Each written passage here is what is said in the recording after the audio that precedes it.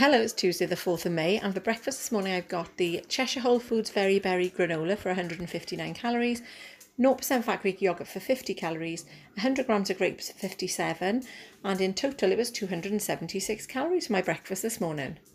I've got a lovely picky plate for my dinner today and it was really tasty. It was 432 calories in total. I'll put the calories up for you to see what it was.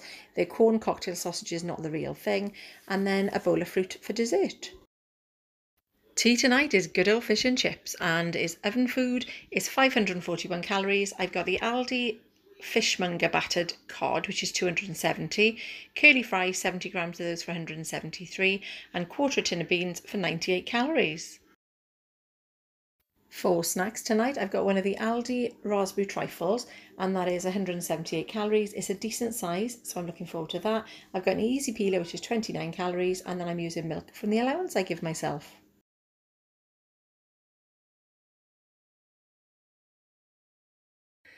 So I'm ending today on 1,572 calories. I've got 52 calories left, or 53 I think it was, left over.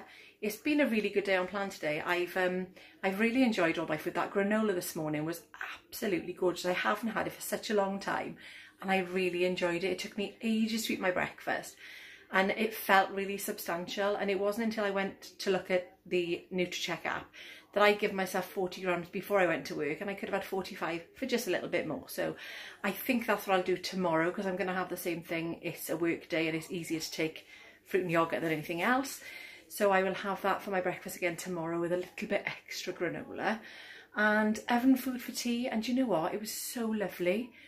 It was just those Aldi curly fries, a bit of fish, and some beans. It was really good. I'd gone after work straight to Aldi and then I got in about six and I didn't feel like making making anything. So I just chucked all that in the oven and it was lovely.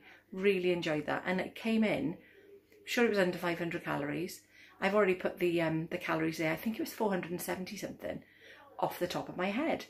So a good day and it's been obviously a work day.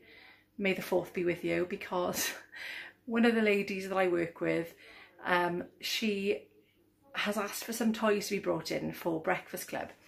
So she had um, a Star Trooper. Are they called Star Troopers? I'm not a massive Star Wars fan. No. And there was one on the desk wrapped in a bag. So she got it and started antibacterial spraying it. And then I was like, oh my God, how apt is that for today? So we, we took him out and he was probably about, I don't know, a foot tall.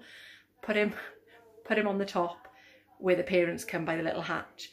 And then obviously just kept saying all day, may the fourth be with you, may the fourth be with you. Like I said, I'm not a massive Star Wars fan, but it's the little things just to break the day up, isn't it? Yeah.